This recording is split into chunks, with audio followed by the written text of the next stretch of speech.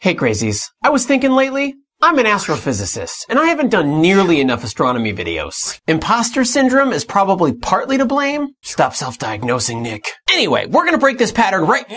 Our last video was on nuclear fusion, which usually happens in the cores of stars. So let's talk about stars. There is way too much about stars to cram into one video, so let's focus on a specific obstacle. How do we know anything about stars if they're so far away and live for millions of years? By being science ninjas.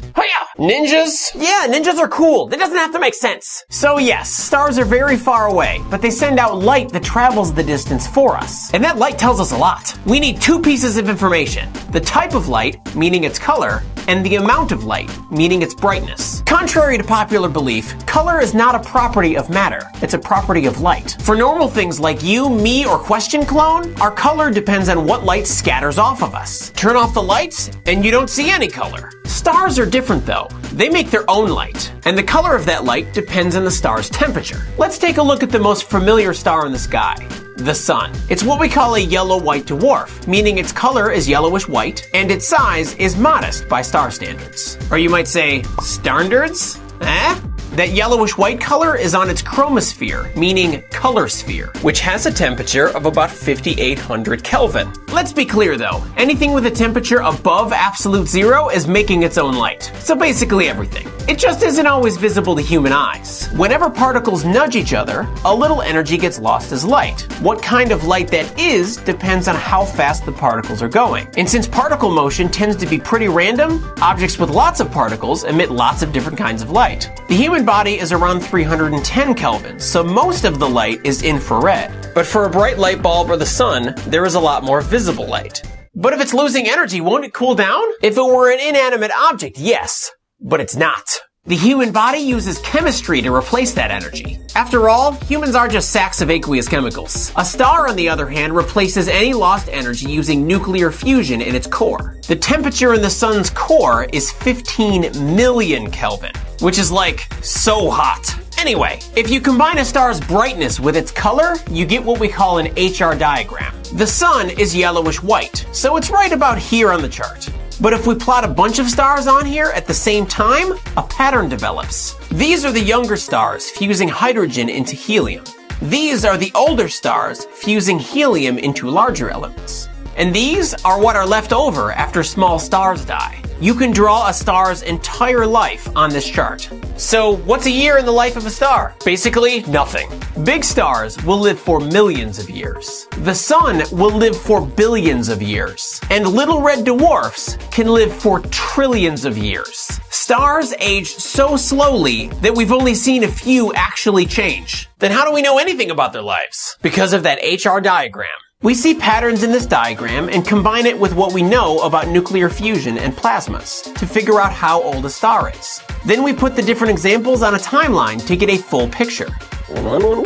Oh, right, that's a great analogy. Imagine a group of aliens like Milton wanted to study the human lifespan, but they could only spend a few seconds here on Earth. They would show up, take a bunch of pictures, and leave, working really hard to piece the pictures together later. That's exactly what we do with stars. Pretty crazy, huh? So, will you ever look at a star the same way again? Let us know in the comments. Thanks for liking and sharing this video. Don't forget to subscribe if you'd like to keep up with us. And until next time, remember, it's okay to be a little crazy. In the last video, we learned about nuclear fusion. Comment response time! Gaston was wondering why don't we shape the tokamak reactor like an 8 instead of a circle? Wouldn't an 8 shape smash more together at the center? Well, maybe. But a circle's easier to make. Not just for the reactor itself, but also for the magnetic field. The reactor uses magnetic force to confine plasma. And plasma, like any other charged particle, just naturally travels in a circle in a magnetic field. It's already a huge challenge to confine the plasma in the first place. We don't need to make it any harder. Taziko was wondering how dangerous hydrogen fusion would be, and the answer is it's actually really safe. Sure, the first time we figured it out, we turned it into a bomb. But that's what happens when you let the military fund your project. Plus, you can turn most things that release energy into a bomb. So that doesn't really count as a complaint. You just have to put safeguards in place to prevent explosion, which is something we already do with our current sources of energy. The best part about fusion, though, is it doesn't create any dangerous exhaust. It produces helium, which we're in dire need of anyway for cooling systems. We actually need the byproducts. Abu Sayed wanted to know about quantum tunneling during fusion. Okay, so I purposefully avoided this in the video. My videos are already information dense enough. Talking about quantum tunneling would just have distracted from what I was trying to say. But we'll talk about it here for a bit. Hydrogen fusion begins at 13 million Kelvin. It's just that on paper, if you only consider the motion of the protons, you need hundreds of times higher temperatures. So we're clearly missing something if we do that.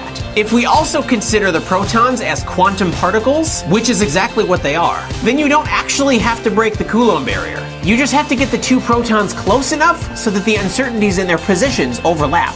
Dave Long asked how cosmic rays create things like lithium and beryllium. So yes, nuclear fusion skips over a few of the early elements on the periodic table. But fission can come back and make them later. Fusion is when you combine smaller elements to make larger ones. Fission is when you take larger elements and break them apart to make smaller ones. Interstellar space has lots of loose particles zipping around called cosmic rays. It's a terrible name because they're particles, not rays. Those particles are moving really fast and occasionally smash into big elements. And the little pieces that break off are sometimes lithium and beryllium. Lots of great questions this time. Anyway, thanks for watching. I'll see you next time.